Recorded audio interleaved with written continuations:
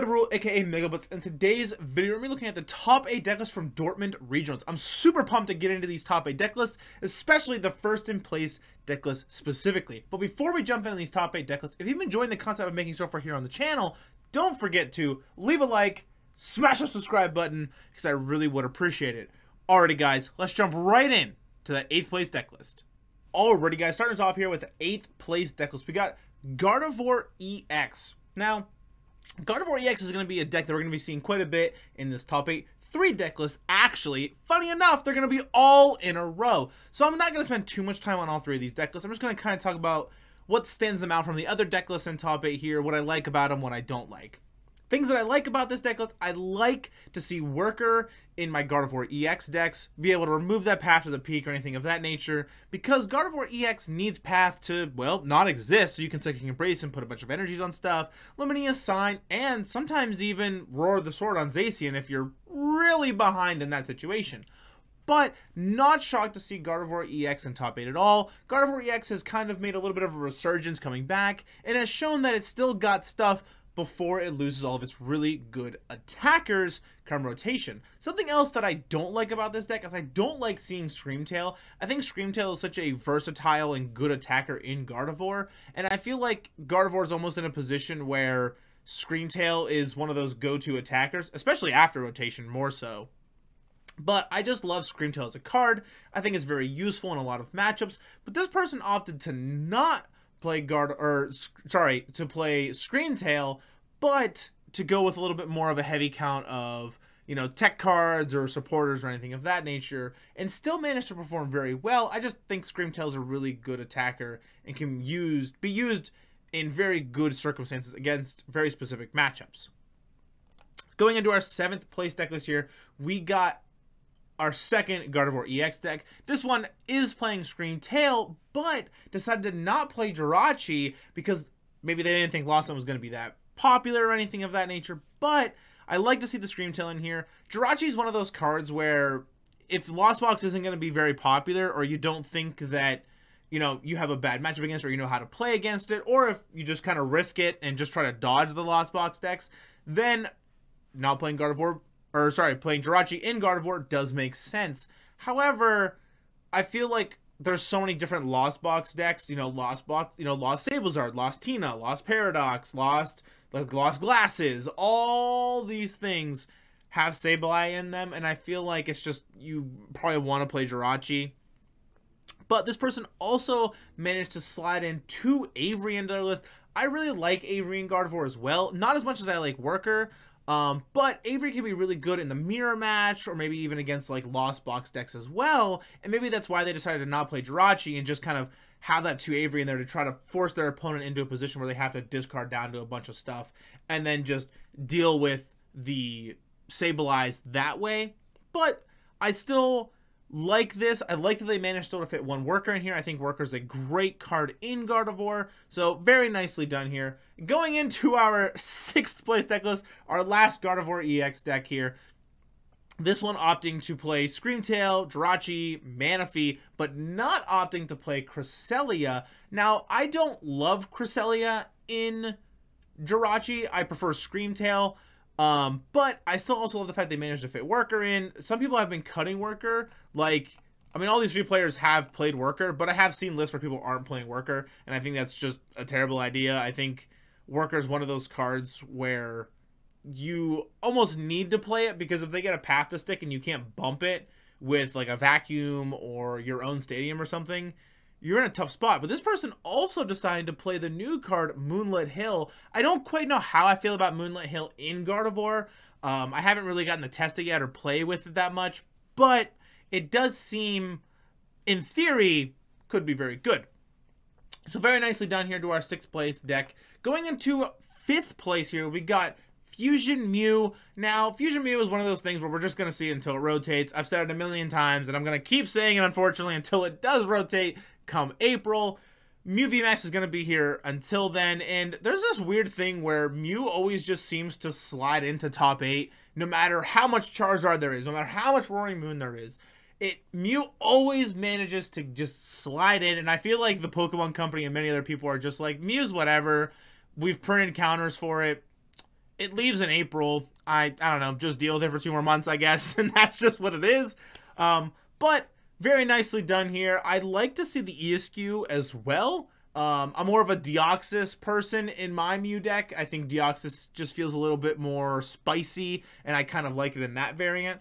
However, something that I wish this deck did play more of is Path to the Peak, actually. I think that just being able to remove your own paths and then repath your opponent just by like judge path. You know, lost vacuum, remove your own path, and then draw a bunch of cards, play path, hit judge, and then just like attack or something. I feel like it's so good in Mew, and I think I'm so used to just seeing you know two, three copies in Mew VMAX that seeing one copy kind of threw me off guard genuinely. But very nicely done here. Mew VMAX is going to be until here, until April, until it rotates. So we're just going to have to deal with it, unfortunately. Going into our fourth place deck here, we got like Lost, Sablezard, plus Moon, plus Pidgeot, plus Mawile. I don't know. There's so many Lost box decks that it's so hard to come up with names. So I'm just going to call this Lost Sablezard and Friends. There we go. Lost Sablezard and Friends. Got that Roaring Moon. I like that a lot. We, we were able to see the Tempting Trap really show its stuff at Knoxville Regionals, actually, where Aiden Koos was able to just like Tempting Trap repeat over and over again um, and winning the game that way against Roaring Moon, where they couldn't switch anything out and they would end up decking themselves. So I definitely like Mawile. I've actually been dabbling with it a little bit in my Lost Tina deck, and I actually kind of like it. There's a couple times where I'm able to just like slow down the game a little bit and draw a bunch of cards and really put the favor back, you know, really push the momentum back into my favor, which feels really nice. But I like this deck overall. I love that you're still able to fit, you know, the Pidgeot and the Forest Sealstone and then just able to put it right back into the deck. And you have that loop. If as long, as long as you can like not get pathed or Spiritomb or anything, you can deal with the Spiritomb or a path and make it so your opponent can't play another one or something you're able to tempting trap and never mill yourself and win that way. So kind of like Stall does it in a way, which I think is really cool. So very nicely done here. I like this deck a lot. I can't wait to actually pop this into TCG Live and give it a go. I've been really dabbling in Lost Sablezard a little bit more recently and been having tons of fun with it. So going into our third place deck here, we got Lost Tina. Now, this is actually the 60 of Lost Tina that I've been playing. Um, I actually decided to put Spiritomb in the deck. I felt like it fit a little bit more, and it was able to help me win a little bit more matchups. Early game Charizard against Stall, you know, against things like even like Miraidon a little bit helps because then like you have to slow down their their Raikous and stuff, and it just being able to like the mirror match where they're trying to Pidgeot and loop that a bunch of times. It just definitely helps a lot, and I really appreciate it for that aspect. Um, but when I don't play Spiritomb, I actually ended up just going to two copies of Escape Rope instead. So this is the most recent 60 I played of Lost Tina, but the 60 I'm probably going to go back to is take out Spirits Spiritomb, go back to a second Escape Rope. Um, I love the one copy of Avery and Lost Tina. I've actually really come around to it. Manaphy is a great card, but I feel like Lost Tina is in a position where as long as you don't over bench your Comfeys and bench your one Sableye when you need to attack with it, you're not really in a position where you're that worried about Radiant Greninja. Sure, they might take, you know, maybe two prizes at most off of you by like double co like KO Comfey. But at that point, Lost Tina is a comeback deck anyway, so you just Roxanne your pathway to victory, and that's the deck, really. So Definitely not shocked to see Lost Tina here. It's definitely probably the powerhouse, I would say, right now of the format.